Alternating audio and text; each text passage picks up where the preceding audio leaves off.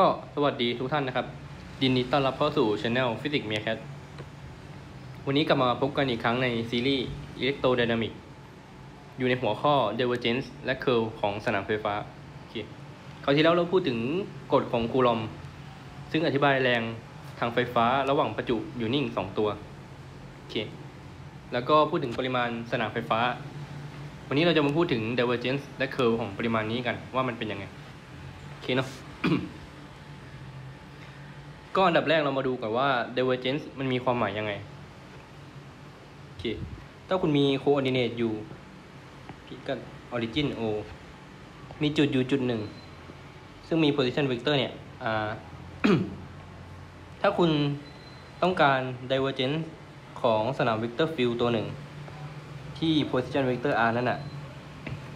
วิธีการก็คือความหมายของคุณก็คือ คุณสร้างปริมาตรเล็กๆล้อมรอบมัน เค divergence ก็จะบอก ประมาณนะประมาณ flux ของสนามเวกเตอร์ผ่านผิวเล็กๆ นั่น ต่อหน่วยปริมาตร ก็จะได้รูปนี้ออกมาอ่า flux คือ integral f dot da ต่อปริมาตรโอเคแต่เราต้องเทคลิมิตปริมาตรเข้าใกล้ศูนย์นะโอเคความหมายของ divergence ก็คือฟัก ต่อปริมาตรรอบๆปริมาตรเล็กๆที่ล้อมจุดนั้นโอเคนะ divergence ของจุดไหนก็คือฟักของสนาม ที่พุ่งออกนะ รอบๆอต่อปริมาตรรอบๆบริเวณเล็กๆ รอบจุดนั้นโอเคนั่นคือความหมายของ divergence ก็ผมจะข้ามในส่วนของ field line อะไรพวกนี้ไปนะ หลักๆก็คือสนามเวกเตอร์ เวลาเขียนมันเขียนลำบาก มันต้องเขียนเป็นลูกศรต่อกันอย่างเงี้ย บางทีมันเสียขนาดไปว่าลูกศรมันต้องทับกันอะไรอย่างเงี้ยแล้วก็แบบมันจะเขียนได้ไม่ละเอียดไม่เยอะพอ วิธีการวิธีการหนึ่งก็คือเขาจะต่อเส้นไปเลยให้มันเป็นแบบนี้ไปเลย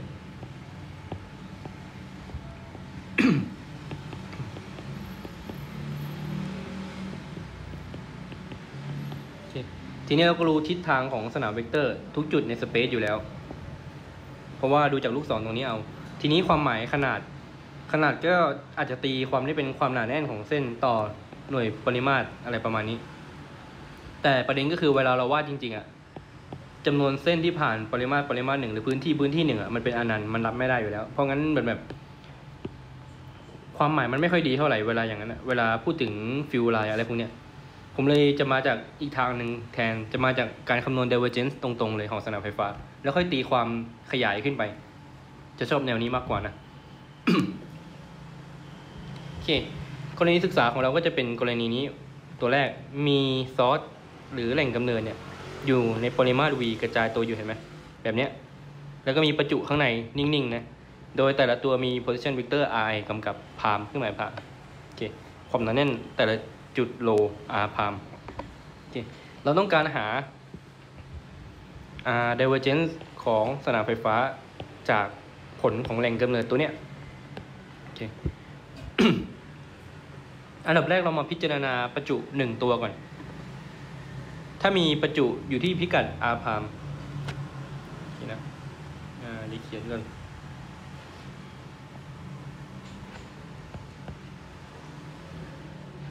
เราสนใจประจุขนาด Q อยู่ที่พิกัด R พามโอเค สนามไฟฟ้ามันก็จะได้เป็น 1 ส่วน4 pi epsilon 0 Q unit vector S หารขนาดของ unit vector S กำลังสองโดย unit vector S ก็คือ R ลบ R พามชี้จากจุดที่จุดประจุแหล่งกำเนิดไปหาจุดสนามที่เราสนใจโอเคทีนี้เราก็มาคำนวณ divergence ตรงนี้ตรงๆ อะ ทีนี้นี่คือประจุเดียว อันดับถัดมาก็คือเราจะทำการ integrate สนาม มันก็จะได้เป็นรูปนี้ e เท่ากับ c pi epsilon 0ส่วนหนึ่ง integral rho r พาม d v พาม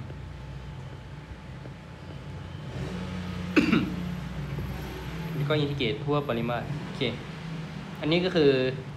สนาม จากแหล่งกำเนิดในรูป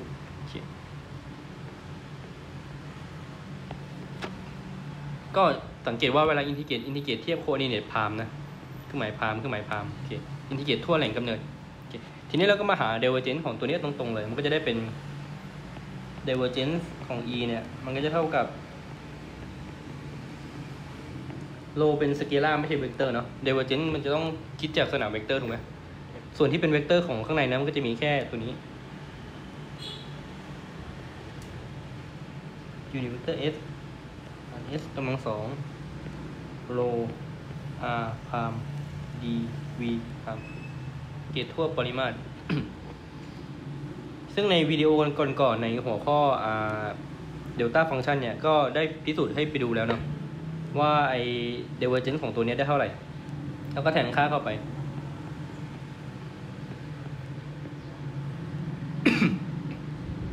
divergence ของ unit vector s ส่วน s กำลังสองเนี่ย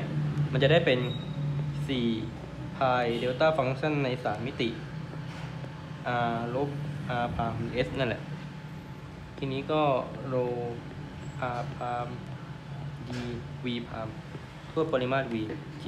แล้วเราก็ใช้คุณสมบัติของ delta function ว่า integrate delta function เทียบตัวไหน มันจะดึงค่าฟังก์ชันออกมา ข้างบนมันจะได้ 4 pi rho r ไม่ใช่ r พามนะ ดึงแค่ r ออกมานะ ส่วน 4 pi epsilon 0โอเคเพราะฉะนั้นก็จะสรุปได้ว่า divergence ของสนามไฟฟ้า ที่จุดใดจุดหนึ่ง มันก็จะเท่ากับความหนาแน่นประจุที่จุดนั้นโลหารเอ p ซิลอนศูนย์อันเนี้ยคือผลลัพธ์ของเรา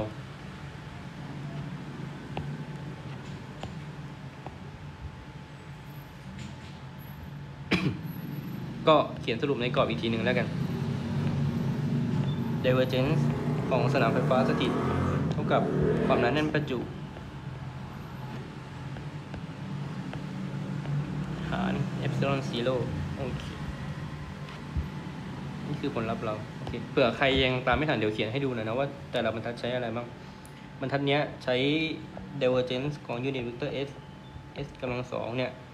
เท่ากับ 4 pi delta กำลัง 3 s โอเคส่วนจะมาบรรทัดนี้ได้ใช้คุณสมบัติที่ว่า integrate function fr ใดๆ ของ delta กำลัง 3 r ลบ constant vector a ทั่วปริมาตรจะเท่ากับค่าของฟังก์ชันที่ position นั้น ดึงออกมา ดึงค่า integral ออกมาโอเคก็พูดไปแล้วแหละใน delta function หัวข้อ delta function ก็เห็นว่าถ้ามาแนวนี้มันง่าย มันแค่คำนวณ divergence ตรงๆ สิ่งที่เราต้องรู้จริง ๆ ก็คือตัวนี้ divergence ของเนี่ย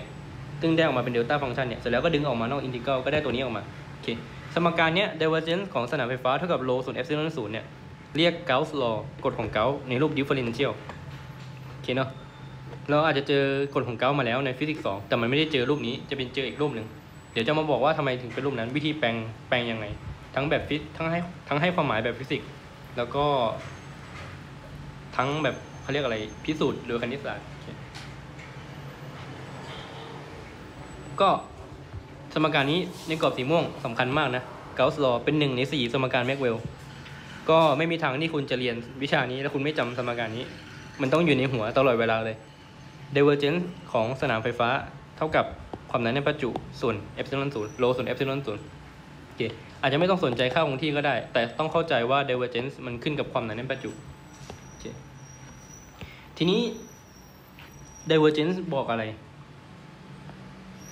ก็อย่างที่บอกไปว่าถ้าจะหา divergence ของจุดจุดหนึ่งความหมายมันก็คือสร้างปริมาตรเล็กๆล้อมรอบจุดนั้น ให้จุดนั้นอยู่ตรงกลางก็ได้นะ หรืออยู่ริมๆเหมือนกันไม่เป็นไรเพราะปริมาตรมันเล็กมากโอเคความหนาแน่นของ divergence มันก็เท่ากับฟักต่อปริมาตรโอเคเนาะโอเคทีนี้เราได้แล้ว divergence ความหมายของมันแบบหยาบๆก็คือฟักต่อปริมาตรเรามาดูสมการนี้กัน Gauss law เนี่ย divergence ของสนามไฟฟ้าเท่ากับ 1 ส่วน epsilon 0โอเค ซึ่งเราไม่เขียนแบบนี้ เวลาวิเคราะห์แนะนำให้เขียนแบบนี้มากกว่า แปรผันตามความหนาแน่นประจุ แบบนี้จะเห็นความหมายเวลาวิเคราะห์ อะ ฝั่งซ้าย divergence มันก็คือ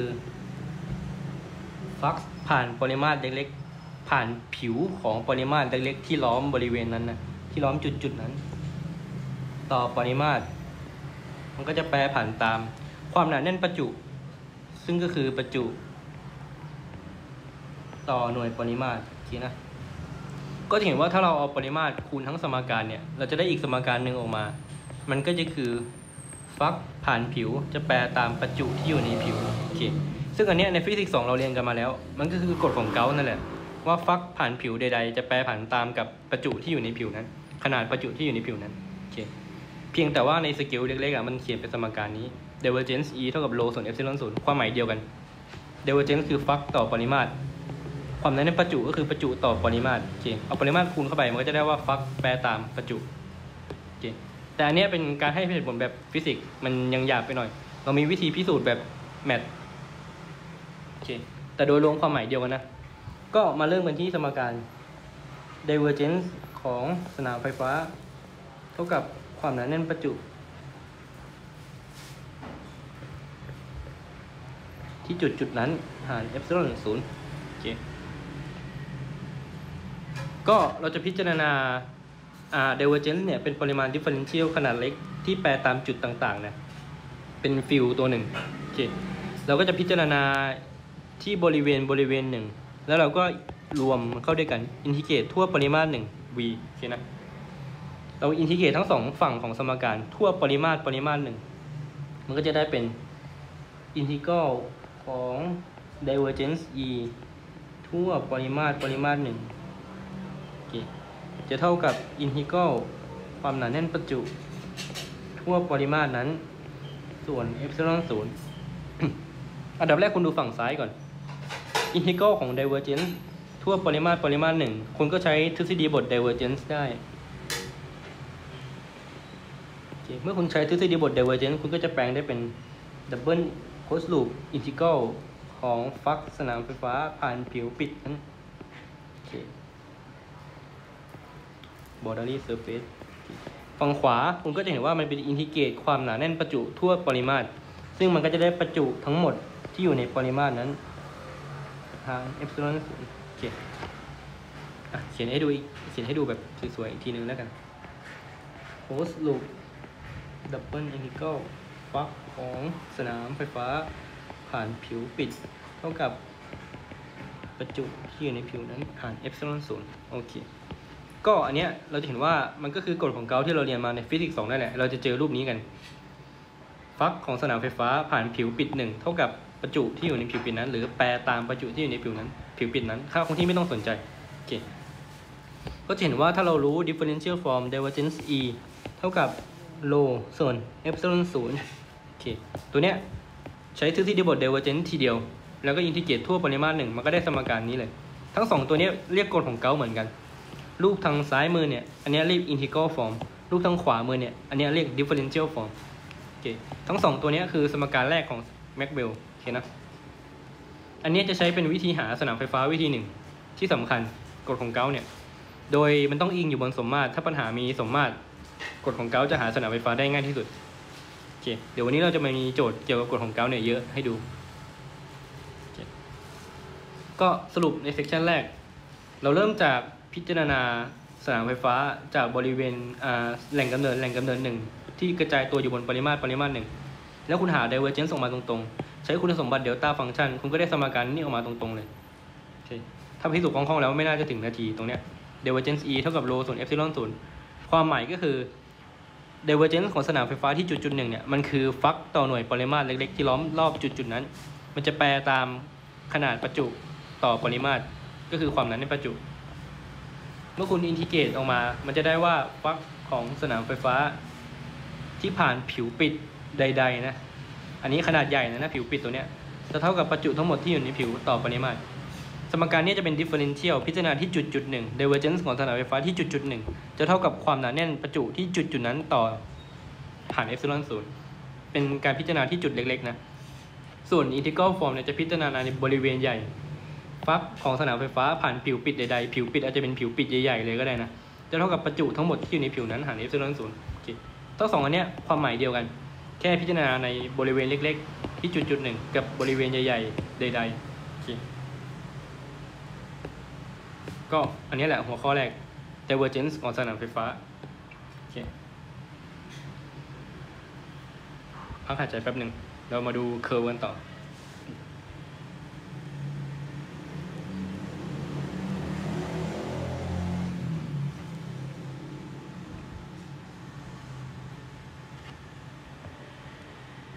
โอเค ถัดมาเราก็มาดูเคอร์ของสนามไฟฟ้ากัน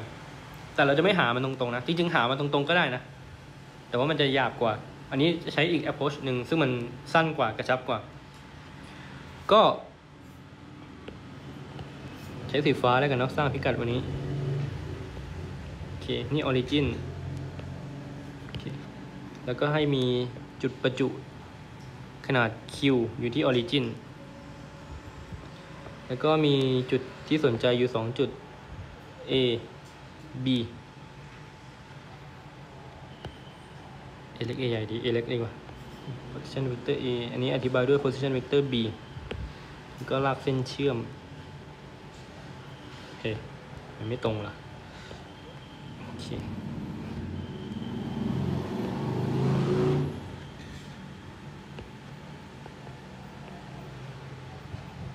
อะแล้วก็ให้มันมี motion เกิดขึ้นจาก A ไป B เส้นทางหยาบไปหน่อย เอาโค้งสวยงาม เคจาก A ไป B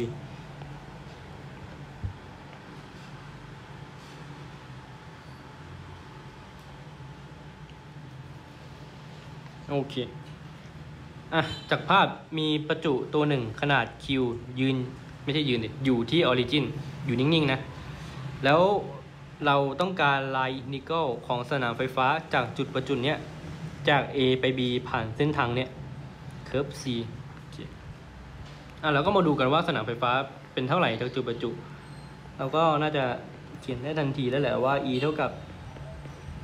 1ส่วน4 pi epsilon 0 Q R กำลังสอง R จริง ๆ มันต้องเขียนเป็น S นะ เท่ากับ R ลบ R พามโอเคแต่ว่า แหล่งกำเนิดของเราเป็นจุดประจุอยู่ที่ออริจินเนี่ย R พามันเท่ากับศูนย์มันเลยไม่ต้องเขียน มันเลยเขียนเป็น R อย่างนี้ได้ โอเค ทีนี้สนามไฟฟ้าจากจุดประจุเนี่ย มันชี้ออกทุกทิศทางรอบๆตัวมัน เราเลยใช้ spherical coordinate จะเหมาะกว่า แล้วเขียน differential link ออกมาก่อน differential link จะเท่ากับใน spherical coordinate นะ dr r d theta r phi theta d phi โอเค อะ เรามาพิจารณา line integral กัน e dot d l จาก A ไป B โอเคคุณก็จะเห็นว่าสนามไฟฟ้าเนี่ย มีแค่ component ในแนวเดียว คือในแนวยูนิตเวกเตอร์ R ในแนวรัศมี differential length เนี่ย อาจจะเกิดได้ 3 วิธี แต่ว่าสนามไฟฟ้ามี component เดียวเห็นไหม เมื่อคุณ dot product ออกมา 2 เทอมหลังจะหายไป จะเหลือแค่เทอมหน้า มันก็จะได้เป็น อินทิกรัลอ่า4 pi epsilon 0ออกมาก่อนนะ q ส่วน r กำลังสอง dr อินทิเกรตตั้งแต่ a ถึง b ซึ่งมันก็จะได้ออกมาเป็น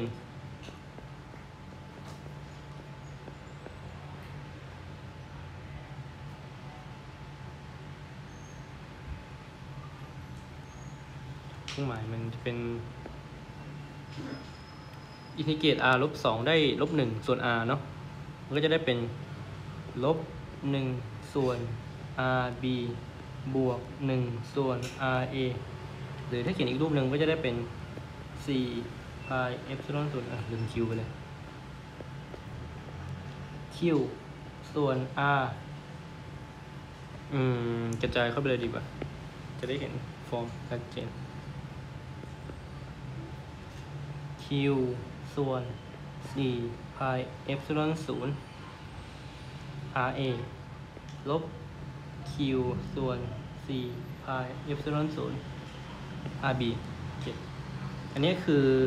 line integral ของจุดสนามไฟฟ้าเนื่องจากจุดประจุจากตำแหน่ง A ไปยังตำแหน่ง B โอเค คุณก็จะเห็นว่ามันจะไม่พูดถึงเส้นทางเลยนะ มันขึ้นกับอย่างเดียวก็คือ รัศมีระยะห่างจากออริจินของจุด A กับระยะห่างจากออริจินของจุด B ซึ่งมันมันจะเขียนได้ในรูปอะไรสักอย่างหนึ่งเนี่ยที่จุด A ลบอะไรสักอย่างหนึ่งที่จุด B จะเห็นว่ามันขึ้นกับแค่จุดเริ่มต้นกับขึ้นกับแค่จุดปลายโอเคเนาะ line integral โอเคซึ่งเมื่อเราทำแบบเนี้ยเราก็จะฝั่งซ้ายนะ มันก็ทำเป็น integral close loop e dot dl ความหมายก็คือคุณอินทิเกรตจาก a ไป a ก็ได้นะ ก็คือกลับมาที่เดิม เริ่มที่ไหนก็วนเส้นทางอะไรไม่มั่วๆแล้วกลับมาที่เดิมมันจะได้ q ส่วน4 pi โซลอนศูนย์ i a ลบ q ส่วน4 pi โซลอนศูนย์ i a ซึ่งแน่นอนว่าได้ศูนย์โอเค ทีนี้คุณก็ใช้สโตก e o เ e m กับฝั่งซ้ายมือโค้ดสูบอินทิกรของ e dl มันจะได้เป็น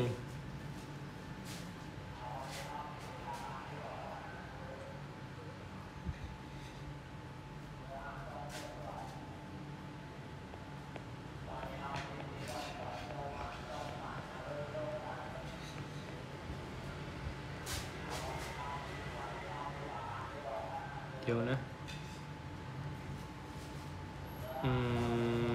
ม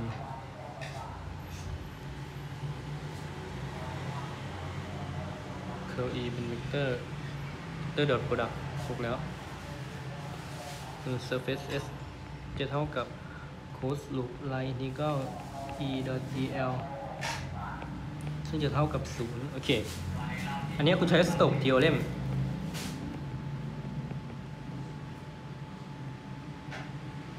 ซึ่งมันจะได้เท่ากับ0โอเคความหมายก็คือ คุณอินทิเกรตเคิลของสนามไฟฟ้า ทั่วบริเวณใด ๆ ทั่วผิวใด ๆ ไม่จำเป็นต้องเป็นผิวปิดนะ มันจะได้เท่ากับ0เสมอ แสดงว่าเคิลตัวเนี้ยของสนามเนี่ยสนามไฟฟ้าสถิตจากประจุเดียวเนี่ยเท่ากับ0โอเคก็จะได้ออกมาcurl ของสนามไฟฟ้าสถิตเท่ากับ0 อะ มาย้อนอีกทีหนึ่งว่าเราทำอะไรไปบ้าง มีจุดประจุหนึ่งอยู่ที่ origin โอเค คุณต้องการหา line integral ของสนามไฟฟ้าจากประจุจากจุดประจุเนี้ยจาก A ไป B ผ่านเส้นทางมั่วๆเส้นทางใดเส้นทางหนึ่ง คุณก็เขียนสนามไฟฟ้าออกมาได้รูปนี้ differential length ได้รูปนี้ หา integral e dl ออกมา ผลก็คือมันได้เนี่ย q ส่วน4 pi ส่วนส่วน ra ลบ q ส่วน4 pi ส่วนส่วน rb ซึ่งขึ้นกับแค่จุดปลายนะ โอเค ทีนี้ถ้าคุณอินทิเกรตครบรอบหนึ่ง ก็คืออินทิเกรตจากจุด A ไปจุด A อย่างเงี้ย อาจจะเริ่มตรงนี้แล้ววนมั่วๆกลับมาที่จุดเดิมอะไรแบบเนี้ย มันจะได้ q ส่วน4 pi ส่วนส่วน ra ลบ q ส่วน4 pi ส่วนส่วน ra ซึ่งแน่นอนว่าได้ศูนย์ทีนี้คุณใช้ Stokes theorem แปลง closed loop integral เนี่ยให้กลายเป็น integral ของ curl ได้ผ่าน Stokes theorem ตัวนี้ มันก็จะได้เท่ากับศูนย์ความหมายของมันก็คือ curl ของสนามไฟฟ้าตัวนี้ต้องเป็นศูนย์โอเคเราก็จะได้ข้อสรุปสำคัญอีกข้อหนึ่งก็คือ curl ของสนามไฟฟ้าสถิตเท่ากับศูนย์ ย้ำว่าต้องเป็นสนามไฟฟ้าสถิตนะ curl ของสนามไฟฟ้าสถิตเท่ากับศูนย์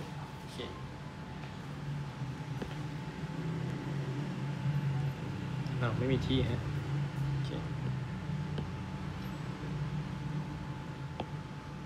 ก็ขออนุญาตลบนะเดี๋ยวมีประเด็นต้องพูดตรงนี้หน่อย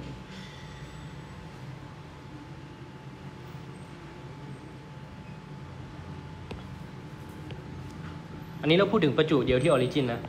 คือของสนามไฟฟ้าจากประจุเดียวที่ origin เนี่ยเท่ากับศูนย์เรียก e หนึ่งแล้วกันโอเคทีนี้ถ้ามันมีประจุหลายตัวล่ะ มันก็จะหลัก superposition ได้สนามไฟฟ้ารวมก็เท่ากับสนามไฟฟ้าจากประจุตัวที่หนึ่งบวกสนามไฟฟ้าจากประจุตัวที่สองบวกบวกบวกไปเรื่อยๆ ใช้ superposition ซึ่ง curl ของจุดประจุแต่ละตัวเนี่ยมันได้ศูนย์มันก็จะเป็นศูนย์บวกศูนย์บวกศูนย์บวกศูนย์ซึ่งแน่นอนก็เท่ากับศูนย์โอเคก็หมายความว่า curl ของสนามไฟฟ้าสถิตใด ๆ เท่ากับศูนย์เสมอโอเคเนาะย้ำว่าสถิตนะ ได้แล้วสมการที่สอง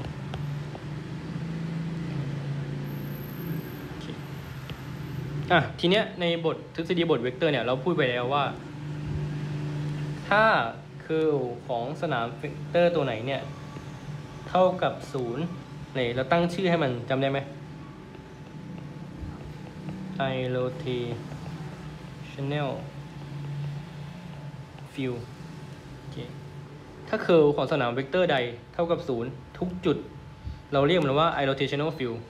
โอเคคุณสมบัติก็คือหนึ่งมันสามารถเขียนในรูป สนามไฟฟ้าเท่ากับลบ gradient ของ scalar potential ได้ตัวหนึ่งซึ่งเดี๋ยววิดีโอหน้าเนี่ยเราจะพูดถึงปริมาณนี้ v เป็น scalar potentialโอเคสอง line integral ของปริมาณเนี้ย ไม่ขึ้นกับเส้นทาง แล้วก็สาม closed loop line integral ใด ๆ ต้องเท่ากับศูนย์เสมอโอเคซึ่งสองข้อหลังเราพิสูจน์ไปแล้วแหละเมื่อกี้เพิ่งทำไปเมื่อกี้เลย ว่า line integral ไม่ขึ้นกับเส้นทาง ขึ้นกับแค่จุดปลายแล้วก็closed loop line integral เท่ากับศูนย์ โอเคสรุปก็คือสนามไฟฟ้าสถิตมี curl เท่ากับศูนย์ทุกที่ หรือพูดอีกอย่างหนึ่งก็คือสนามไฟฟ้าสถิตเนี่ยเป็น irrotational field โอเคเราสามารถเขียนมันในรูปลบเกเดียนของ potential ได้ ลบ gradient ของ scalar potential ได้โอเคแล้วก็ line integral ไม่ขึ้นกับเส้นทาง closed loop line integral เท่ากับ0โอเคเนาะวันนี้เราก็จะได้ 2 อย่าง divergence ของสนามไฟฟ้า เท่ากับ rho ส่วน epsilon 0 แล้วก็ curl ของสนามไฟฟ้าเท่ากับ 0 ทุกจุดโอเคนี่ก็คือ divergence ของสนามไฟฟ้าสถิต นี่ก็คือ curl ของสนามไฟฟ้าสถิต ก็ได้แล้วสองตัววันนี้ที่เป็นทฤษฎีหลักของเราโอเคที่เหลือก็จะเป็นการ apply แล้ว อันนี้คือ Gauss law ของสนามไฟฟ้าสถิต เดี๋ยวเราจะใช้มันโอเคก็มาดูกันตัวอย่างการใช้กฎของ Gauss เมื่อกี้ส่วนนี้เป็นทฤษฎีจบไปแล้วนะ สรุปก็คือเราได้ว่า divergence เท่ากับ rho ส่วน epsilon 0 curl e เท่ากับ 0 มาดู Gauss law กัน Gauss law บอกว่า สมมติเราใช้รูป integral form นะ double integral ของ flux ของสนามไฟฟ้าผ่านผิวปิดใด ๆ เท่ากับประจุที่อยู่ในผิวเขียนในรูปนี้สวยกว่านะ r พาม d v พามผ่านเอฟเซลศูนย์โอเคพยายามเขียนรูปทั่วไปเนี่ยให้ได้ทุกข้อ เนี่ย ข้างบนเนี่ย ตั้งจากรูปนี้เสมอโอเคปัญหาจะยากขนาดไหน ถ้าใช้เกาโลได้ รูปนี้แก้ได้ตลอด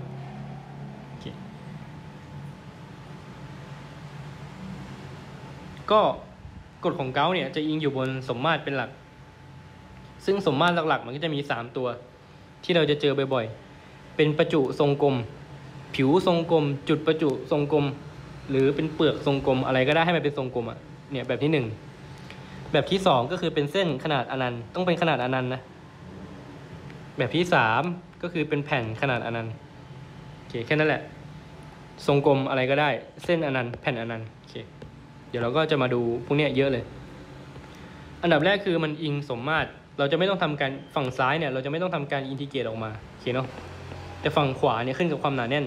ถ้าความหนาแน่นคงที่เราอาจจะไม่ต้อง integrate ก็ได้ แต่ถ้าความหนาแน่นไม่คงที่ฝั่งขวายังก็ต้อง integrate โอเค ประเด็นก็คือฝั่งซ้ายสนามไฟฟ้าเนี่ย เรา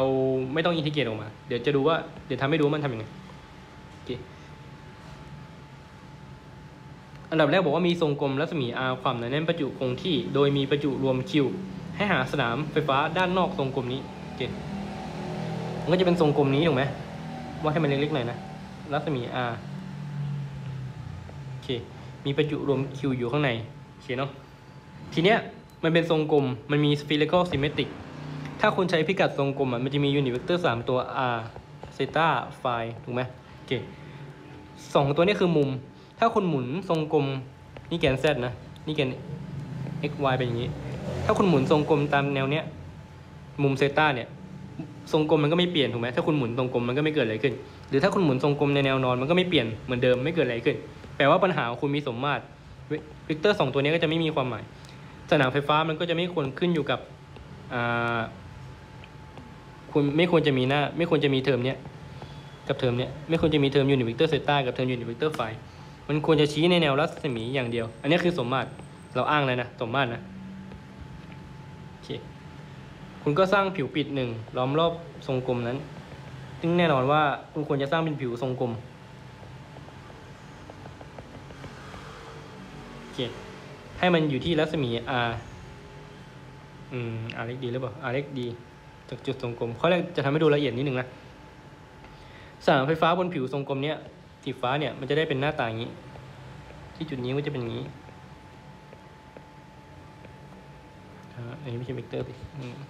ตั้งฉากกับผิว ตั้งฉากกับผิว ตั้งฉากกับผิว ตั้งฉากกับผิว โอเค เนี่ย คือมันจะชี้ตั้งฉากกับผิวตลอดทุกจุด แล้วมันอยู่ห่างจากและอย่างที่บอกว่าจากสมมาตรสนามไฟฟ้าควรจะขึ้นอยู่กับแค่ระยะห่างจากออริจินถูกไหมที่ทรงกลมมันอยู่ ระยะห่างจากจุดศูนย์กลางทรงกลมเนี่ยซึ่งแต่ละจุดบนผิวทรงกลมเนี่ยมันห่างจากาจุดศูนย์กลางทรงกลมเท่ากันแปลว่าขนาดสนามไฟฟ้าควรเท่ากัน มีทิศตั้งฉากกับผิวเหมือนกันโอเคนะสองข้อนี้สำคัญ ขนาดเท่ากัน ทิศตั้งฉากกับ ผิวเหมือนกัน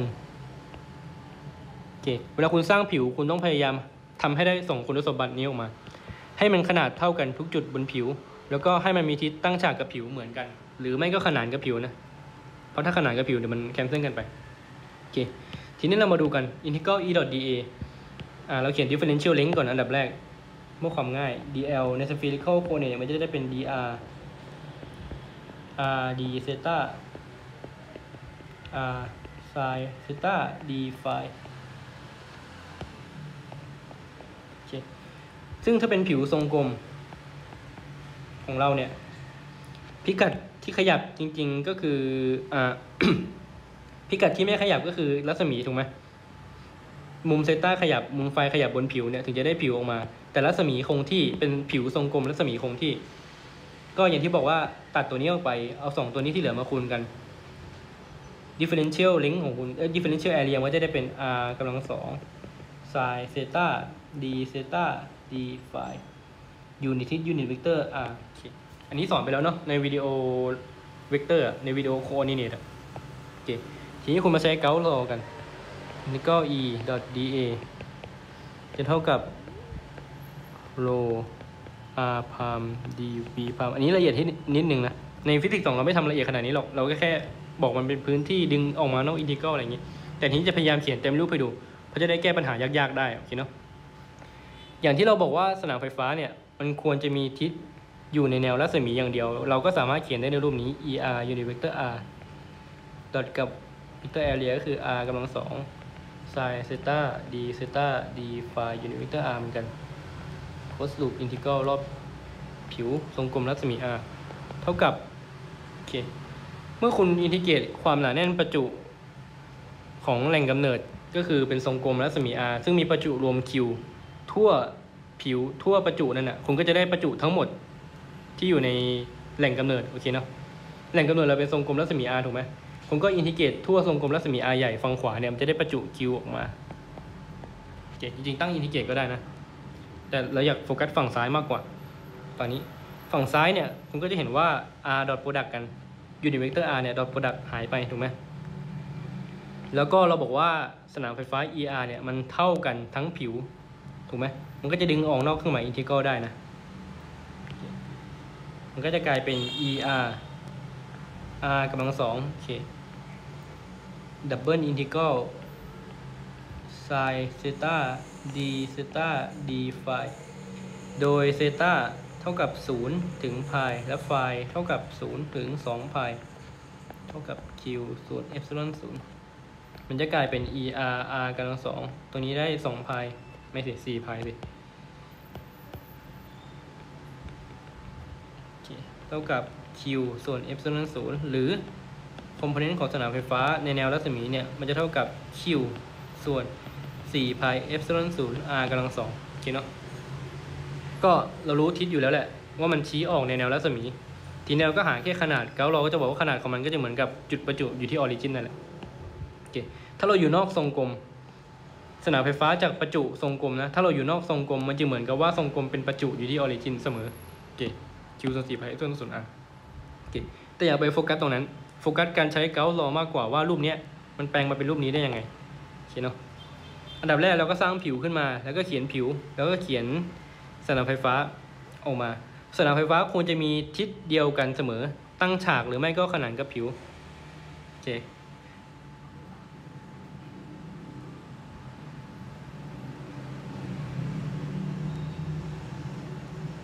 ก็ถ้าสนามไฟฟ้ามันตั้งฉากกับผิว แปลว่าเวกเตอร์ area มันชี้ทิศเดียวกับเวกเตอร์ area ของผิว r เหมือนกันเห็นไหมมันจะ dot product ออกมาได้1โอเคเสร็จแล้วขนาดของสนามไฟฟ้าเนี่ยเท่ากัน เพื่อจะได้ดึงออกนอกเครื่องหมายอินทิกรัลใน step นี้โอเคใน step นี้สำคัญนะจากบรรทัดนี้มาบรรทัดนี้เราใช้ 2 คุณสมบัตินี้เสมอนะขนาดของสนามเวกเตอร์เท่ากัน แล้วก็มีทิศตั้งฉากหรือไม่ก็ขนานกับผิวโอเคที่เหลือก็แค่อินทิเกรตออกมาสำคัญสอง step นี้ถึงจะเขียนนี่ออกมาได้ แล้วก็ dot product ดึงออกมาได้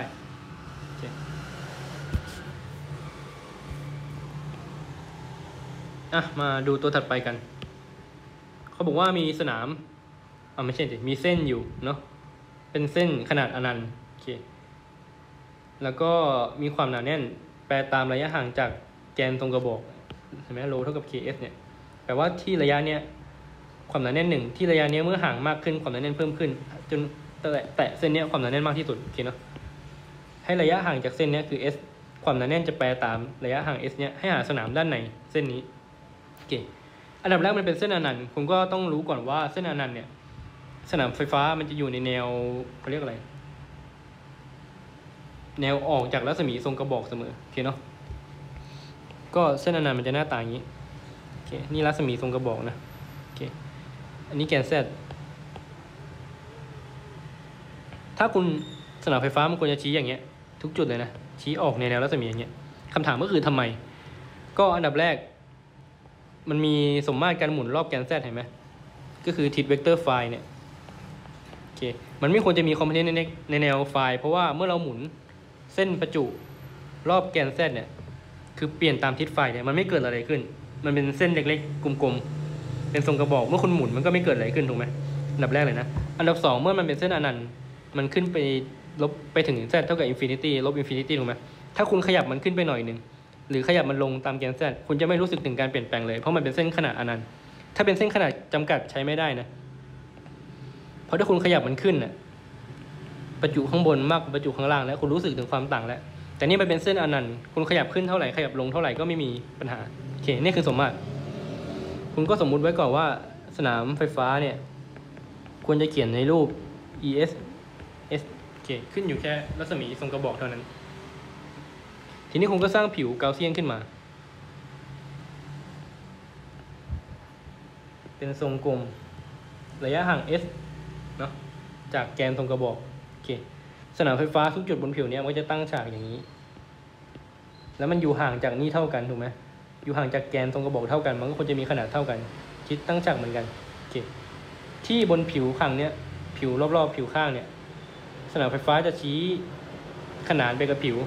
unit vector ของผิวจะชี้ออกอย่างนี้ มันจะตั้งฉากกัน ซึ่ง dot product มันจะได้ศูนย์มันก็จะไม่ต้องคิดผลตรงนั้นโอเค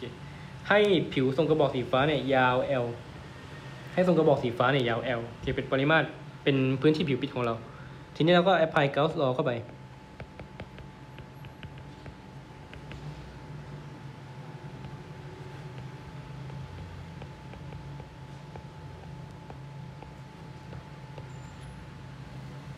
แล้วก็เขียน differential length ก่อนเพื่อความ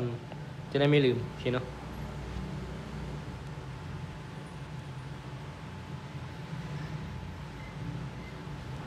ก็ dl มันจะเท่ากับ ds s define dc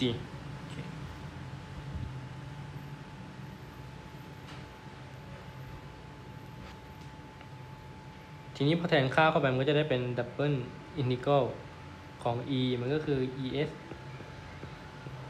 vector s dot product กับ k ทีนี้ผิวเดียวที่มีความหมายก็คือผิวข้างของทรงกระบอกเนี่ย ซึ่งเมื่อคุณเขียน vector area ออกมา มันจะได้เป็น s define dc เป็น vector s โอเคอันนี้ต้องทำได้แล้วเนาะบนผิวทรงกระบอก รัศมีความยาว l รัศมี s มันจะเท่ากับอินทิกรัลความหนาแน่นประจุต่อยูนิตปริมาตร ความหนาแน่นประจุมันจะเป็นทิปเปิลอินทิกรัลโล r พามโอเค differential volume ของแหล่งกำเนิดมันจะเป็น ไม่ใช่สิ s prime ds prime d phi prime dz primeหาร epsilon ศูนย์อันนี้คือปริมาตรเล็กๆในพิกัดทรงกระบอกนะ ไอเทอมเนี้ยคือ differential volume ในพิกัดทรงกระบอก ถ้าเราไม่ทันก็ย้อนกลับไปดูในวิดีโอเวกเตอร์ที่เปลี่ยน coordinate อะวิดีโอนั้นทำให้ดูแล้วว่ามันมาจากไหนกันโอเคเนาะอันนี้สนามไฟฟ้ามีขนาดเท่ากันหมด แล้ว dot product ทิศเดียวกันนิดหนึ่งก็ดึงออกมามันจะได้เป็น Es อ่าตัว s นี้ก็ไม่มีต้องไม่ต้องอินทิเกรตก็ดึง s ออกมาได้อีกตัวหนึ่งเนาะ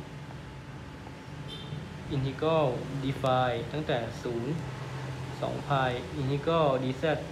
เค ทรงกระบอกยาว l เนาะก็ให้เป็นตั้งแต่ศูนย์ถึง l ก็ได้ง่ายดี ให้ตรงนี้เป็น origin แล้วกัน z เท่ากับศูนย์อยู่แนวเนี้ยแล้วตรงนั้นเป็น z เท่ากับ l ไปโอเคฝั่งขวาก็จะกลายเป็น rho ก็คือ k s prime คูณ s prime ds prime d phi prime dz prime ที่ก็สามชั้น หาร epsilon ศูนย์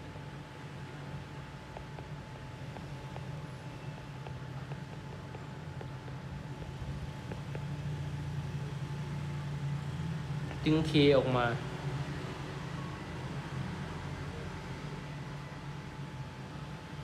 อะเคมันก็จะไปกันไปอินทิกรัล s พามกำลังสอง ds พามตั้งแต่ 0 ถึง s อินทิกรัล d ไฟพาม prime ตั้งแต่ 0 ถึง2 pi แล้วก็เป็น integral d c palm ตั้งแต่ 0 ถึง l ส่วน epsilon 0มันจะเท่ากับ k ส่วน epsilon 0ที่เกต n กำลังสองได้ n กำลัง3ส่วน3ตรงนี้ได้2 pi ตรงนี้ได้ l โอเคเนาะก็ตัดกันให้เรียบร้อยมันจะเหลือ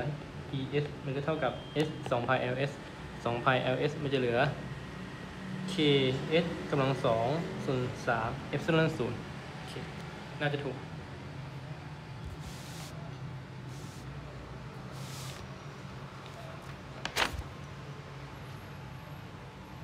ถูกไหมเนี่ยโอเคถูกนะเวลาเขียนสนามไฟฟ้าเต็มรูป เวลาทำแนวข้อสอบอะไรอย่างนี้ ต้องใส่เวกเตอร์เลยนะ อย่าลืม s กำลังสองส่วนสาม epsilon ศูนย์ unit vector s อันนี้คือคำตอบของเรา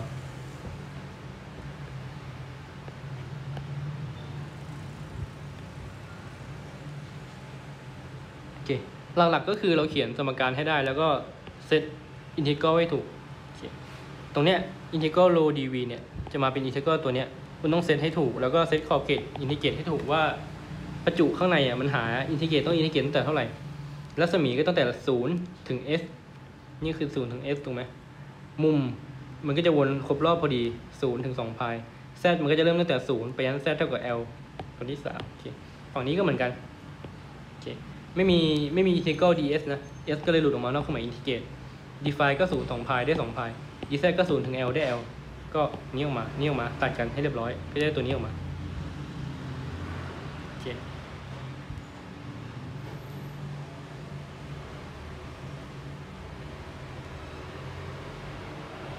ตัวสุดท้ายเป็นแผ่นขนาดอนันต์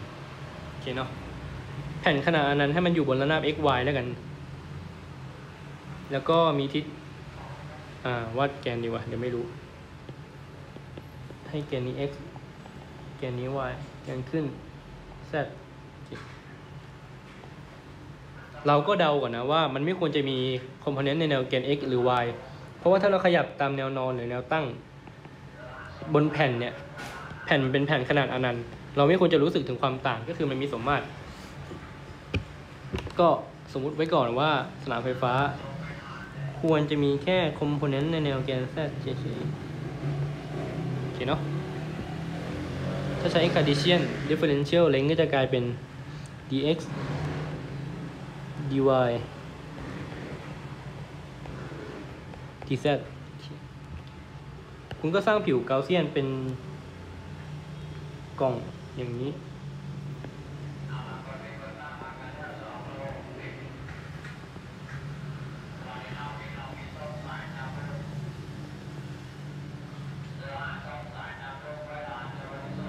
ผมว่ารูปไม่สวยนะ มันเป็นกล่องที่อยู่ข้างบนน่ะ แล้วก็ทะลุลงไปข้างล่าง กล่องมันสูงขึ้นมาจากผิวเนี่ยข้างบนเนี่ย ให้สูงเท่าไหร่ดี เป็นระยะแซดแล้วกันโอเคแล้วมันก็ลงไปข้างล่างเป็นเป็นระยะแซดด้วยนะ มันทะลุลงไปข้างล่างด้วยนะ มันเป็นกล่องอย่างเงี้ย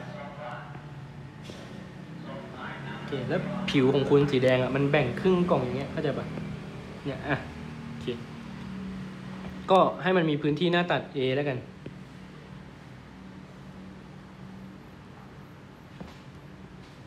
โอเคถ้าคุณเดาว่าสนามไฟฟ้า ชี้ขึ้นตามแนวแกน z ถูกไหมที่จุดนี้สนามไฟฟ้าก็พุ่งขึ้นอย่างนี้ตั้งฉากกับผิวพอดี ทิศ ของเวกเตอร์ที่จุดเนี้ยมันก็จะชี้ทิศเดียวกับเวกเตอร์ area ของผิวนี้เหมือนกัน ที่จุดนี้เหมือนกันสนามเวกเตอร์ก็ชี้ขึ้นแต่เวกเตอร์ area ชี้ออกตั้งฉากกันก็คือ cancel กันไปโอเคเนาะก็เซตสมการ integral e dot da closed เท่ากับประจุทั้งหมดที่อยู่ในผิวหารเอ p ซิลอนศูนย์โอเค อันนี้ทำแบบปกติที่ทำในฟิสิกส์สองนะ มันจะเร็วหน่อย ถ้าทำแบบนี้แผ่นขนานมันไม่มีอะไรมาก แผ่นขนานอันนั้นมันไม่มีอะไรมาก จะทำแบบนี้ได้ ขนาดของสนามไฟฟ้าคงที่ แล้วทิศมันก็ทิศคิดแค่ผิวบนกับผิวล่าง โอเคเนาะวันนี้ก็จะกลายเป็น e พื้นผิวมีพื้นที่หน้าตัด a ถูกไหมแต่มันมีทั้งข้างบนและข้างล่างนะ มันก็จะได้ออกมาเป็น 2a ประจุที่อยู่ในผิวก็คือซิกมา a ความหนาแน่นคูณพื้นที่หารเอ p ซิลอนศูนย์ สนามไฟฟ้ามันก็จะกลายเป็นซิกมาส่วนสองเอ p ซิลอนศูนย์เคข้อนี้ไม่ทำละเอียดนะ เพราะว่าสนามไฟฟ้าจากแผ่นอนันต์มันทำมาตั้งแต่ฟิสิกส์สองแล้วแล้วมันก็ไม่เหมือนข้อที่แล้วก็คือเรา set up integral อะไรเงี้ยความหนาแน่นไม่คงที่อะไรแบบเนี้ยมันจะง่ายกว่า แล้วมันก็ไม่มีอะไรมากเลย มันก็ได้รูปนี้เลย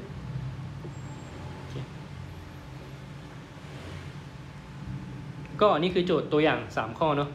เดี๋ยวจะมีโจทย์แบบฝึกหัดอีก ก็คือเนี่ยหนึ่งสองสามสี่ห้าหกเจ็ดแปดข้อเนี่ยเจ็ดถ้าเราอยากเรียนวิชานี้แบบ แล้วหัวข้ออื่นมันจะง่ายอะ่ะเราต้องทำหกข้อเนี้ยให้คล่องเลย ไม่ใช่หกถึงแปดสิหนึ่งสองสามสี่ห้าหกเจ็ดแปดแปดข้อเนี้ยคุณทำได้ทั้งหมดเลยโอเคเนาะอาจจะมีข้อสุดท้ายที่ทำไม่ได้ไม่เป็นไร ต้องใช้ทริกหน่อย แล้วก็ทั้งแปดข้อเนี้ยเดี๋ยวจะมีเฉลยให้เป็นวิดีโอแยกต่างหากโอเคเดี๋ยวเราจะเห็นว่าในวิดีโออะแปดข้อเนี้ย เการอมันจะทำง่ายมากแปดข้ออาจจะใช้เวลาประมาณแค่ชั่วโมงหรือชั่วโมงครึ่งก็เสร็จแล้วโอเคมาดูโจทย์แต่ละข้อกันก่อน ข้อแรกบอกว่ามีเปลือกทรงกลมและสมีอาให้หาสนามด้านนอกกับด้านในเปลือกทรงกลมโอเคความหนาแน่นประจุ sigma คงที่นะเราก็เดาได้เลยว่า ถ้ามันเป็นเปลือกทรงกลมนะสนามด้านนอกอะมันก็จะเหมือนกับว่าเป็นประจุอยู่ที่ origin ประจุไปรวมกันที่ origin โอเคถ้าด้านในสนามไฟฟ้าต้องเป็นศูนย์อยู่แล้ว อย่างนี้เดาไว้ก่อนเลย ข้อสองบอกว่าเป็นทรงกลมรัศมี r ความหนาแน่นประจุ rho คงที่ก็คือเป็นทรงกลมตันโอเคเราทำไปแล้วเนาะในหัวข้อสนามไฟฟ้าจากกฎของคูลอมตรงๆโอเคในช่วงแรกที่ยังรัศมียังไม่พ้นขอบของวงกลมใบสนามไฟฟ้าจะขึ้นแบบเชิงเส้นลีเนียเสร็จแล้วมันจะตกลงแบบหนึ่งส่วน r กำลังสองโอเคนะดูกราฟอีกทีหนึ่งนะมันจะขึ้นแบบเชิงเส้นในช่วงแรกก่อนแล้วมันก็จะตกลงแบบหนึ่งส่วน r กำลังสองเนี่ยสนามไฟฟ้าจากทรงกลม ซึ่งเราได้ก็จะได้คำตอบเท่านี้ ตามรูปเมื่อกี้เส้นประจุยาวอนันต์ความหนาแน่นแลมด้าคงที่ที่ระยะห่างเส้นนี้ s จากเส้นเนี่ยโอเคมันจะมีประจุอยู่สามแบบคือแบบทรงกลมอ่าเขียนดีหน้าหนึ่งดีกว่าโอเค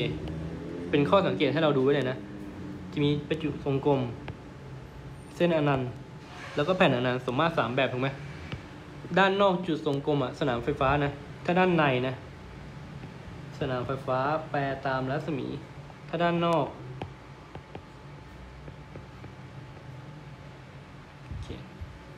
ถ้าด้านนอกสนามไฟฟ้า แปรตามหนึ่งส่วน r ถ้าด้านนอก สนามไฟฟ้าแปรตามหนึ่งส่วน r กำลังศูนย์ก็คือคงที่โอเคเป็นข้อสังเกต 3 แบบเลยนะ ดูตรงนี้ดีๆนะ ถ้าเป็นทรงกลมด้านในอะสนามไฟฟ้าจะแปรผันตรงกับรัศมี เท่ากับค่าคงที่อะไรสักอย่างหนึ่งคูณกับ r โอเคเนาะถ้าอยู่ด้านนอกทรงกลมเมื่อไหร่สนามไฟฟ้าจะแปรตามค่าคงที่ตัวหนึ่งจะเป็นค่าคงที่ตัวหนึ่งคูณกับหนึ่งส่วน r กำลังสองเสมอหนึ่งส่วน r กำลังสองดูดีๆโอเคถ้าเป็นเส้นขนาดอนันต์มันจะได้หนึ่งส่วน r เสมอ ถ้าด้านนอกอะพฤติกรรมจะเป็นแบบนี้ แล้วถ้าเป็นแผ่นอนันต์มันจะได้หนึ่งส่วน r กำลังศูนย์หรือว่าเป็นค่าคงที่ดูเทรนมันดีๆนะเอาไว้เช็คลิมิตอะไรพวกเนี้ย เวลาเราคิดโจทย์แผ่นจำกัด เรา take ลิมิตให้แผ่นจำกัดเป็นแผ่นอนันต์มันต้องได้เท่านี้ ถ้าเราคิดเส้นจำกัด เรา take ลิมิตให้เส้นเป็นเส้นขนาดนั้นมันจะต้องมีพฤติกรรมแบบนี้โอเคเนาะหนึ่งส่วน r กำลังสองคือ r กำลังลบสองหนึ่งส่วน r คือ r กำลังลบหนึ่งอันนี้คือ r กำลังศูนย์เขียนไว้อีกทีหนึ่ง r ลบสอง r กำลังหนึ่ง r กำลังศูนย์โอเคเนาะเห็นเทรนปะลบสองหนึ่งศูนย์ไม่ใช่ลบหนึ่งตีไม่ใช่หนึ่งโอเคก็ สนามไฟฟ้าด้านนอกผิวทรงกลม หรือเป็นทรงกลมอะไรก็ตามแต่ถ้ามันเป็นทรงกลม ถ้าอยู่ด้านนอกแปลตามหนึ่งส่วน r กำลังสองเสมอ ถ้ามันเป็นเส้นอนันต์ถ้าอยู่ด้านนอกแปลตามหนึ่งส่วน r เสมอ ถ้ามันเป็นแผ่นอนันต์สนามไฟฟ้าจะคงที่เสมอเคเป็นข้อสังเกตไว้ เอาไว้เช็คว่าเราทำถูกหรือเปล่า เช็คคำตอบข้อนี้เราก็เดาได้แล้ว มันจะเท่ากับ e สนามไฟฟ้านะ มันจะแปลตามค่าคงที่อะไรสักอย่างหนึ่งอะแล้วก็มีแลมด้าหาร r ประมาณเนี้ยโอเค ข้อ 2.14 หาสนามไฟฟ้าด้านในทรงกลมรัศมี r ที่มีความหนาแน่นประจุ kr จะไม่เหมือนกับข้อเมื่อกี้แล้วนะ ที่เราบอกว่าทรงกลม ถ้าอยู่ด้านในทรงกลมความหนาแน่นจะแปลตามไม่ใช่สิสนามไฟฟ้า จะแปลตามรัศมีอย่างนี้ แต่นี้ใช้ไม่ได้นะ มันใช้ได้กับกรณีความหนาแน่นคงที่นะ แต่นี้ความหนาแน่นมันไม่คงที่แล้ว เป็น kr เราก็ต้องอินทิเกรตประจุด้านในแทน ข้อ 2.15 บอกว่ามีเปลือกทรงกลมรัศมี a รัศมี b เห็นไหม รงนี้รัศมี a ตรงนี้รัศมี b ระหว่าง a กับ b เนี่ยมีประจุกระจายตัวอยู่อย่างเงี้ย มีความหนาแน่น k ส่วน r กำลังสองให้หาสนามไฟฟ้าด้านใน ระหว่างกลางแล้วก็ด้านนอก แล้วก็วัดวาดกราฟด้วยอย่าลืมวาดกราฟข้อนี้บอกว่าเป็นแผ่น coax เป็นสาย coaxial โอเคอันนี้ก็จะเจอบ่อยสาย coaxial เนี่ยสาย coaxial ก็คือข้างในอะจะเป็นเหมือนแท่งทองแดงอะ กลมๆ เหมือนลวดเคยเห็นเส้นลวดปะจะเป็นแท่งกลมๆโอเคมีความหนาแน่นประจุ rho เป็นบวกนะเสร็จแล้วด้านนอกเป็นผิว เป็นแผ่นบางๆ เป็นผิวโอเคมีความหนาแน่นประจุเชิงผิว sigma เป็นลบโอเคโดยถ้าเรามองมองด้านนี้เข้าไปมองตัดเข้าไปด้านในจะเป็นบวกด้านนอกเป็นลบ balance กันพอดีนะให้ประจุมันเป็นศูนย์เสมอ คือสายไฟฟ้าที่เป็นกลางโอเคเนาะข้างในเนี่ยยาวรัศมี A ข้างนอกรัศมี B ให้หาสนามไฟฟ้าสามบริเวณคือด้านในตรงนี้ ระหว่างกลางเส้นทองแดงเลย กับแล้วก็ระหว่างสายทองแดงกับแผ่นข้างนอก แล้วก็ด้านนอกเส้น ก็ไม่ยากเท่าไหร่ใช้เกาหลอตรงไปตรงมา แล้วก็ไอสนามไฟฟ้าระหว่างเส้นทองแดงเนี่ยมันก็คือข้อนี้แหละ เหมือนกัน มีเส้นทองแดงอยู่เห็นไหมมีความหนาแน่น แล้วก็หาสนามไฟฟ้าด้านในความหนาแน่นเหมือนกันหรือเปล่าโอเคความหนาแน่นคงที่เหมือนกัน ก็นั่นแหละ ข้อ 2.17 บอกว่ามีแผ่นขนาดอนันต์ความหนา 2D โอเค มันเป็นแผ่นสี่เหลี่ยมอย่างเงี้ย เหมือนเป็นกล่องอะแต่มันยาวอนันต์อะตามแนวเกณฑ์ x อะแล้วก็แนวเกณฑ์ z ด้วยนะ มันสูงเป็นอนันต์เข้าใจปะแล้วมันก็ยาวอย่างเงี้ยเป็นอนันต์โอเค แต่แนวเกณฑ์ y อะมันแค่ 2d ความหนาตามแนวเกณฑ์ y แค่ 2d ตรงนี้ก็จะกลายเป็นลบ d ตรงนี้ก็จะกลายเป็นพิกัด d เนอะตามแนวเกณฑ์ y เนี่ยลบ d ตรงนี้พิกัด d เลยหนา 2d ให้หาสนามไฟฟ้า ตามแนวเกณฑ์ y นะโอเคแนวเกณฑ์ y ก็จะมี3บริเวณถูกไหมสี่สิตรงนี้แกน y เท่ากับ0จะมีตรงนี้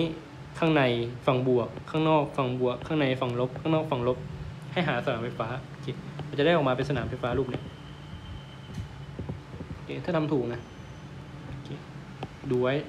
แล้วก็ลองไปเช็คดูว่าเวลาพอดกราฟออกมาแล้วได้รูปนั้นหรือเปล่าโอเคแต่นี้มีเฉลยให้หมดพวกนี้ ข้อสุดท้าย 2.18 เป็นไดโพลนะ อันนี้จะใช้บทจะใช้ต่อในบทถัดไปบทสนามไฟฟ้าในตัวกลาง ก็ถ้าเราไม่ทำก็ไม่เป็นไร แต่ว่าต้องดูไว้ว่าผลลัพธ์มันได้แบบนี้เพราะผลลัพธ์เอาไปใช้ต่อโอเคมีทรงกลมสองตัว ทรงกลมหนึ่งมีความหนาแน่นประจุบวกโล ทรงกลมที่สองมีความหนาแน่นประจุลบโล แล้วมันก็วางทับกันอยู่เห็นไหมโอเคให้เวกเตอร์ d ชี้ตรงตรงนี้ไปตรงนี้ แล้วก็หาสนามไฟฟ้าข้างใน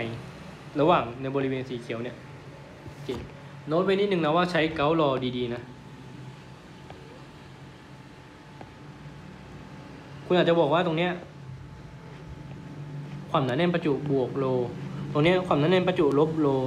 ความหนาแน่นประจุนี้เนี่ยรวมอะต้องเป็นศูนย์ถูกไหมโอเค ทีนี้คุณก็อาจจะบอกว่าใช้เกาลอละสนามไฟฟ้าเป็นศูนย์แต่จริงๆมันผิดนะมันใช้ไม่ได้นะ สาเหตุก็คือ เวลาใช้ Gauss's law เราต้องบอกว่าสนามไฟฟ้ามัน เดี๋ยวลองทำแบบนี้ให้ดูดีกว่า สนามไฟฟ้าคิดเป็น superposition ได้ใช่ไหมว่าจากสนามไฟฟ้าแรกรวมกับสนามไฟฟ้าที่สองดูไหมถ้าคุณพิจารณาที่จุดจุดนี้โอเคอแล้วคุณก็สร้างผิวทรงกลมอย่างนี้โอเคสนามไฟฟ้าจากตัวแรกมันจะชี้อย่างนี้นะ ER ง